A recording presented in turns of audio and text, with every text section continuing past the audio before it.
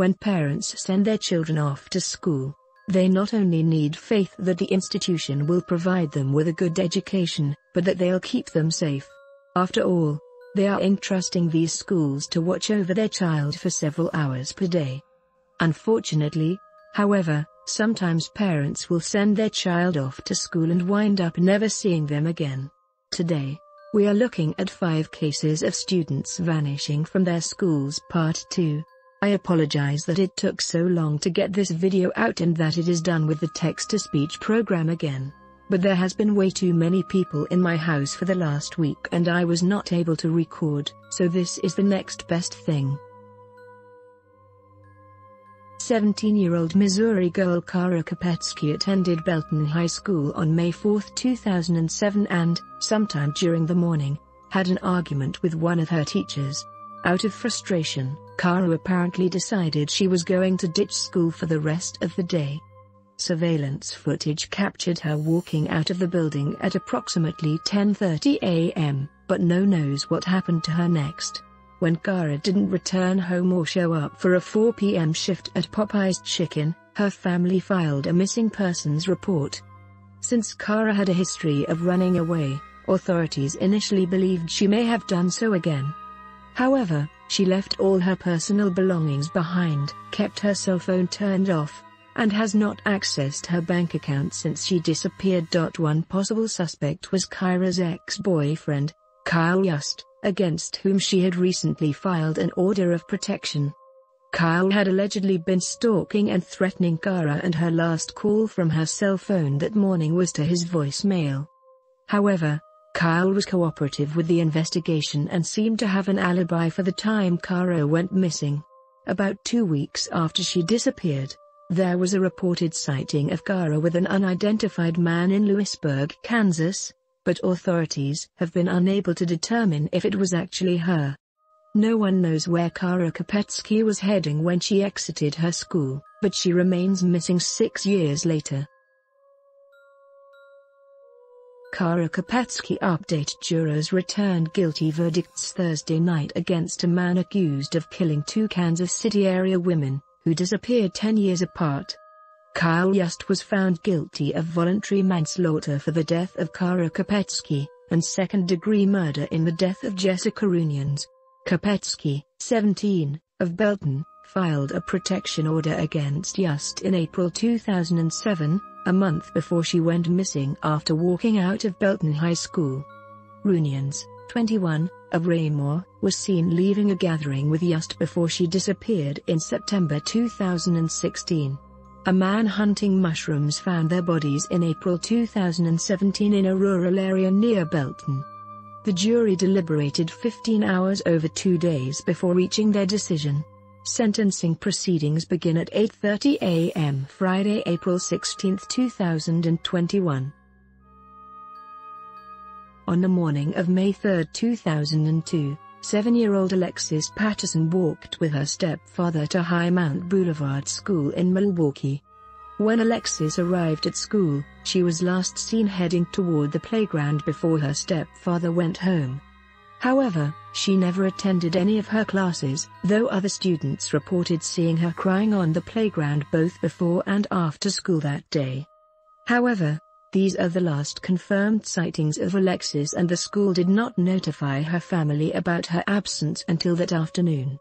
An extensive search of the area failed to turn up any trace of her. Alexis had a perfect attendance record prior to her disappearance and it was theorized she chose not to attend classes after getting into an argument with her mother the night before. As punishment, Alexis was not allowed to bring cupcakes to her classmates as she had originally promised, which might explain why she didn't show up for class, but was still seen hanging around the school playground. Some students reported seeing a suspicious red truck parked near the school during the preceding week, which was never seen again after Alexis' disappearance. Months later, an anonymous caller contacted a Milwaukee television station to claim that Alexis' remains could be found in the Milwaukee River, but a search turned up nothing and the identity of the caller is unknown. Over a decade later, Alexis Patterson has still never been found. On October 25, 1978, six-year-old Carrie Saig was enjoying lunchtime recess at Albert Einstein Hebrew Day School in Las Vegas when he suddenly went missing. According to classmates, Carrie had entered a vehicle which pulled onto school property. Later that day, Carrie's parents received a ransom call demanding $500,000 for their son's return. The caller claimed he would contact the Saigs in two days to provide instructions about how to deliver the money, but they never heard from him again.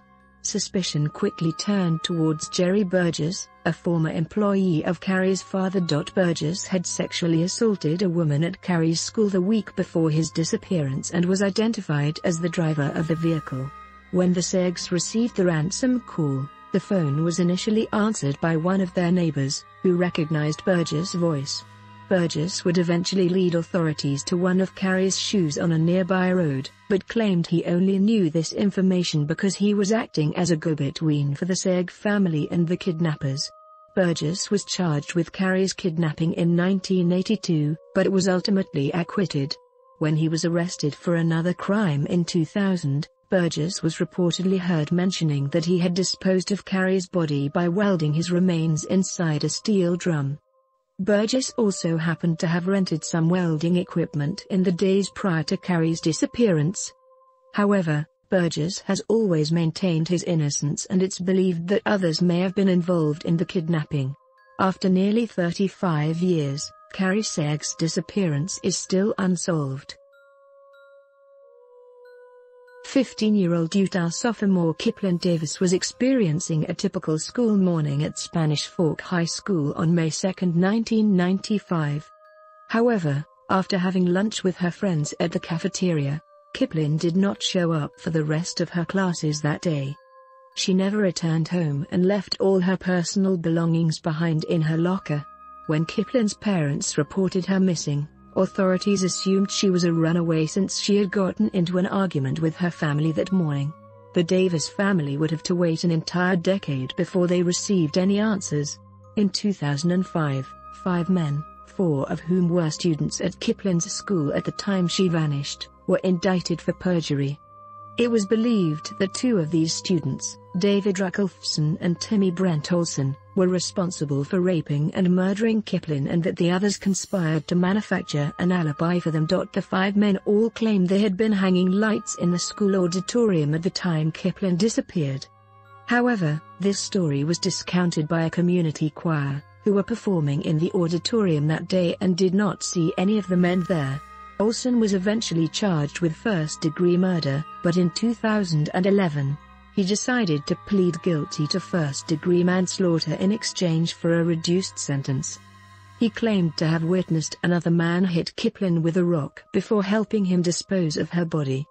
However, Olsen has refused to name his accomplice or the location of Kiplyn's body, so she is still officially a missing person.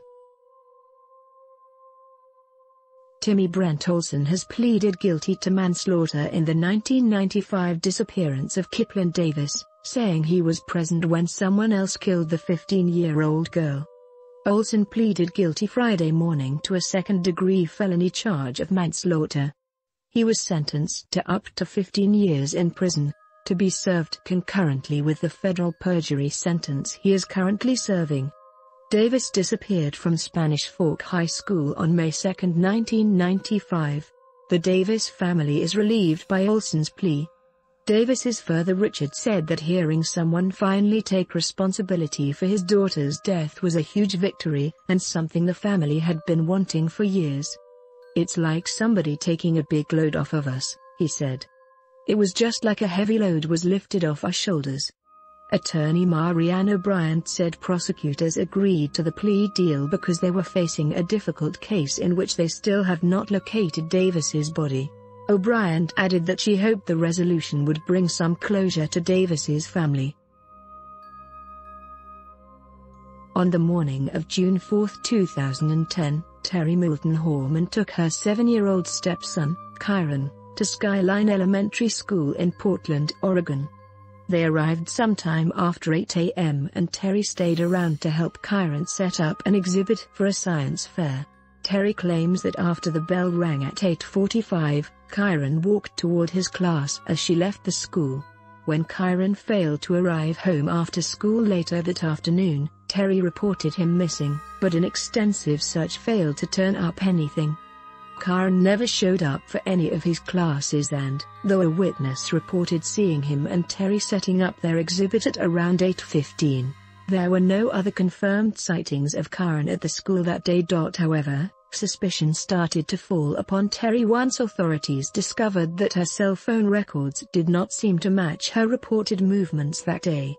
A landscaper soon came forward to claim that, months beforehand, Terri offered him money to kill her husband. Authorities had the landscaper wear a wire in an attempted sting operation on Terri, but she failed to say anything incriminating.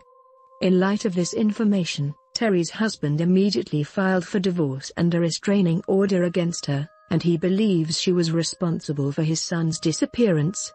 Kyron's biological mother has also accused Terry of causing his disappearance and filed a lawsuit against her in 2012.